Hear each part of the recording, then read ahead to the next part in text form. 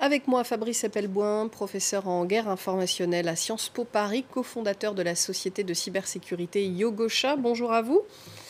Bonsoir. On vient de voir que ce que les utilisateurs paieront avec ces 8 dollars, ce n'est pas seulement l'hirondelle bleue à côté de leur nom, mais une vraie version professionnelle de Twitter oui, clairement. Euh, il va tout simplement s'agir de proposer à la Terre entière une offre qui pour l'instant est réservée au marché américain, qui fait que vous avez non seulement cette fameuse pastille bleue, mais surtout tout un tas de fonctionnalités supplémentaires qui vous permettent d'utiliser Twitter de façon beaucoup plus efficace.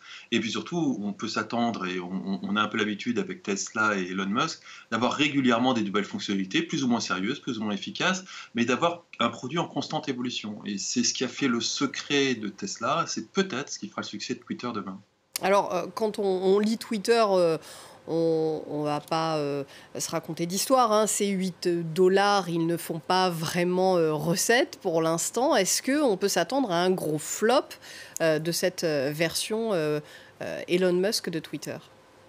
En fait, ce qu'essaye de résoudre Elon Musk, c'est une équation financière. Il faut absolument que Twitter dégage des revenus de façon à pouvoir se financer une modération à la hauteur de ce qu'on espère être une modération sur les réseaux sociaux, ce qui est jusqu'ici une inconnue totale. Personne ne sait très bien comment aborder ce problème. Mais il y a une chose qui est évidente, c'est que le modèle économique qui consiste à monétiser avec de la publicité n'est pas suffisant pour se payer une modération à la hauteur. Et ce, que ce soit sur Twitter, Facebook, TikTok ou quelque réseau social que ce soit.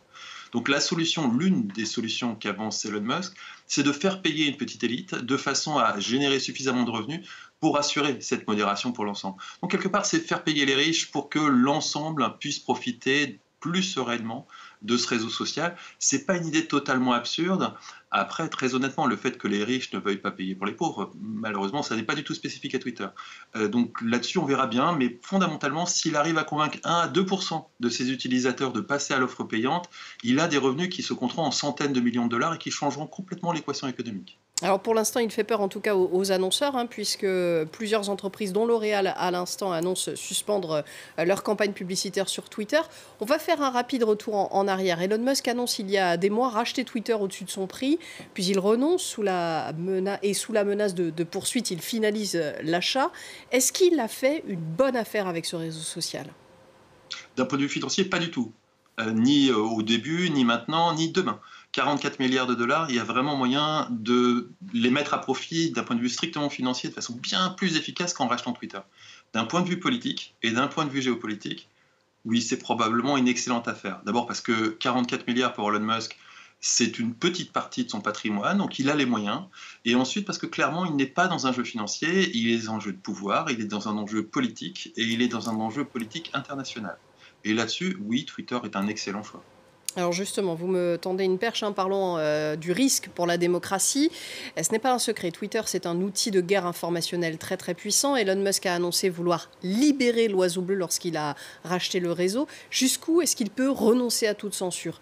Jusqu'à l'appel au meurtre? Jusqu'à la désinformation? Là-dessus, il y a deux malentendus. Le premier malentendu, c'est euh, l'impact désastreux des réseaux sociaux sur les démocraties celui-ci il est avéré. On, a eu un, premier énorme scandale autour de Cambridge Analytica et de Facebook qui a montré qu'il y avait déjà eu pour l'élection de Donald Trump un, énorme problème d'interférence dans les élections. On a eu un deuxième scandale qui lui est passé relativement inaperçu en, France, qui est l'interférence de Twitter dans l'élection de Joe Biden, où ils ont censuré délibérément une information qui aurait pu faire totalement basculer l'élection et qui évidemment était vraie euh, et qui, qui s'est soldée ensuite par ce cette espèce de, coup d'État fantoche euh, au Capitole et la suspension du compte de Donald Trump. Donc fondamentalement, si vous voulez, ça fait deux élections présidentielles américaines qui ont été euh, gravement remis en question par l'interférence des réseaux sociaux. Là-dessus, euh, probablement Musk peut faire pire, mais on est déjà à un niveau de pire qui est conséquent, très très conséquent. Et cette interférence de Twitter sur l'élection présidentielle américaine personne ne la regarde en face, mais elle est très significative. Ensuite, il y a un autre malentendu qui est que Elon Musk n'a jamais annoncé qu'il allait répandre la liberté d'expression aux quatre coins de la planète.